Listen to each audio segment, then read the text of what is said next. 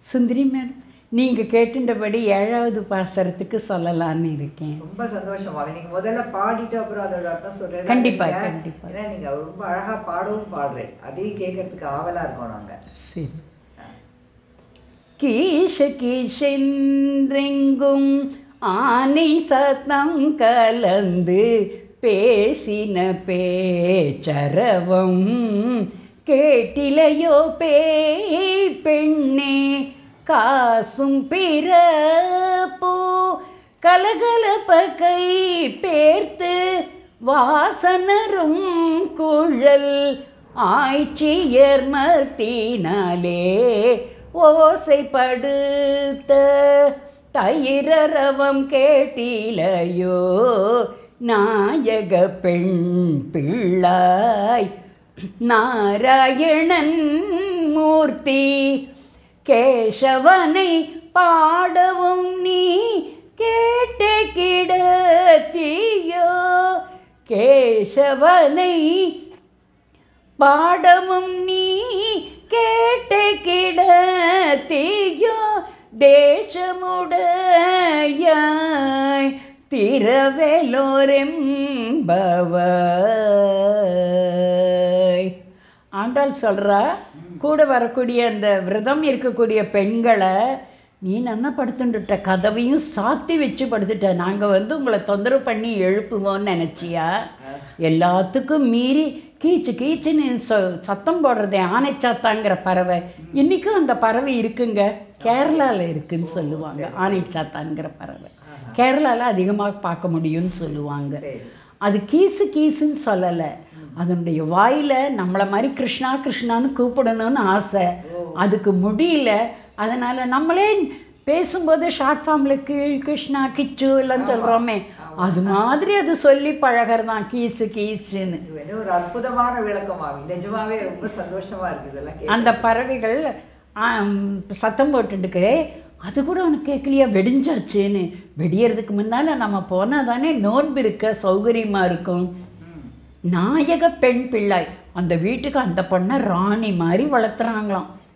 நாராயணன் மூர்த்தி வந்துடுவார் அவரை பார்க்கணும். அவருடைய கோவிலுக்கு போகணும். வைகுந்தம் தரக்கூடிய அந்த நாராயணன் மூர்த்தி நமக்கு எல்லாம் தருவான். நாராயணனே நமக்கே பறை தருவான்னு முதல்ல பாடியிருக்கோம் இல்லையா? அந்த நாராயணன் மூர்த்தியை சேவிக்கிறதுக்கு வா அப்படின்னு. அப்படி உனக்கு நாராயணன் இஷ்டம் இல்லைன்னா கேசவனை பாடலாம். கேசவன் எல்லாத்துக்கும் எல்லாம் பண்ணக்கூடியவன். நம்ம வீட்டில் கூட இருக்கிற மாதிரி எல்லாத்தையும் நடத்தி கொடுப்பான். அந்த கேசவனை பாடலாம். அவனை பாடுறதுக்கு உனக்கு ரொம்ப பிடிக்குமே அப்படின்னு வாச நறுங்குழல் ஆய்ச்சியருங்கிறாங்க. இதில் ரொம்ப முக்கியமான விஷயம். கொஞ்ச காலத்துக்கு முன்னால் கூட தப்பாக நினைக்காதீங்க. ஒரு திரைப்படம் கூட வந்தது. நீங்களாம் பார்த்து திருவிளையாடல் அதில் பெண்களுக்கு இயற்கையாக மனம் உண்டா இல்லையான்னு அந்த கட்சிக்கு நான் போகல. ஆண்டாள் சொல்கிறா நல்ல குடும்ப பெண்களுக்கு கண்டிப்பாக தலையில் வாசனை இருக்கும். மனம் இருக்கும். அதை சொல்கிறதுக்காக தான் நான் வந்திருக்கேன்.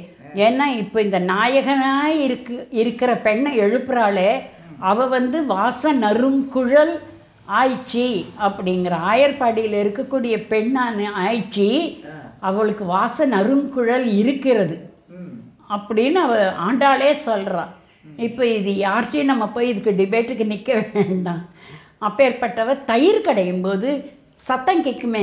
அந்த காலத்துல எல்லாம் காத்தாலையானா உடனே தயிர் பெருகுத்தி ராத்திரி வச்சதை காத்தால எடுத்து தயிர் எடுத்து வெண்ணெய் எடுத்து வைப்பாங்க. யாருக்கு? அந்த வெண்ணெய் எடுக்கிறது கிருஷ்ணனுக்காகத்தான். அப்பேற்பட்டவங்க தயிர் கிடைக்கும்போது அது எவ்வளோ பெரிய சத்தம் கேட்கும். ஏன்னா கிருஷ்ணனுக்கு கை சட்டி சட்டியாக வெண்ணெய் கொடுக்கணும். அப்போ எவ்வளோ தயிர் கடையணும். எவ்வளோ பெரிய மத்து உபயோகிச்சிருப்பாங்க. அந்த சத்தம் கூட உன்னை தொந்தரவு பண்ணாமல் நீ தூங்குறியா? எழுந்திருக்க மாட்டேயா? நான் நீ இதையே கேட்டுட்டு இப்படியே படுத்துட்டு இருந்தாக்கா கண்ணன் வர்றது கூட தெரியாமல் போயிடுமோ? நாங்கள்லாம் உனக்காக காத்திருந்து எங்கள் நேரத்தையும் வீண் பண்ணக்கூடாது. சீக்கிரம் வாமா நம்மெல்லாம் போகலாம் அப்படின்னு சொல்லி அவள் துயில் எழுப்புறா இந்த பாட்டில். அதாவது அந்த பாட்டோடயே சேர்த்து அந்த காலத்துல அந்த பழக்க வழக்கங்கள் இல்லையா நடைமுறைகள் நடைமுறையும் அவருடைய எல்லா விதமான பெயர்கள் அதுக்கான காரணம் இல்லையா கேசவன் இல்லையா கேச்சிங்கிற அரக்கனை அழைத்தது. அது எல்லாத்தையும் நடுவில் கொண்டு வந்துடுறா பாசுரத்துல சாமர்த்தியம் ஆண்டாள் இல்லையா? ஆமாம் ஒரு பாசுரத்துக்குள்ள எவ்வளோ விஷயத்த அப்படியே பொதிஞ்சு வச்சிருக்கா. அற்புதமா இருக்கு மாமி. அதனால தான் திருப்பி திருப்பி